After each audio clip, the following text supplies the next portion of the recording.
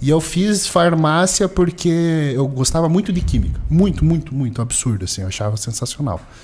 Orbitais, ligação e tal.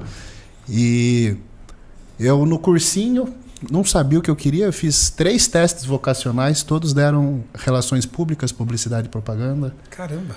E aí eu tava pendendo fazer isso. Aí fui falar com o professor de química. Falei, porra, eu gosto pra caralho de química. Daí ele falou, faz farmácia. Deu por quê não fazer química? Dele, ah, química é mais exatas.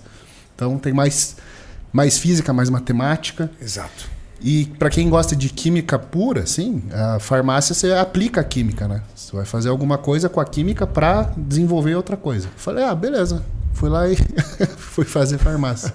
Tranquei primeiro período, achei uma bosta. Fiquei com raiva. Trancou? Nossa, achava uma merda. Já passou na federal direto, essas né? paradas. Passei na federal. Aí fiz um semestre, tranquei e falei, não quero mais. Vou fazer o curso que todo mundo faz quando não sabe o que quer fazer. Administração. Direito. Ah, direito também. Ah, vou fazer direito, sei lá. Aí meu pai falou, ah, faz mais um semestre de graça.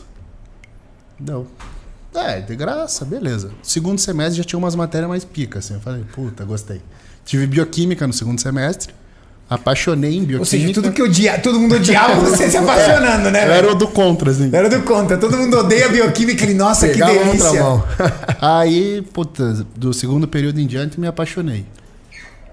Eu ainda vou fazer um teste de QI em você. Porque você tem um QI a mais, irmão. Não eu falo que ele é meu gênio favorito. Pensa num bicho inteligente, velho. Puta merda. É muito. Eu- Eu chamo do meu, do meu gênio careca.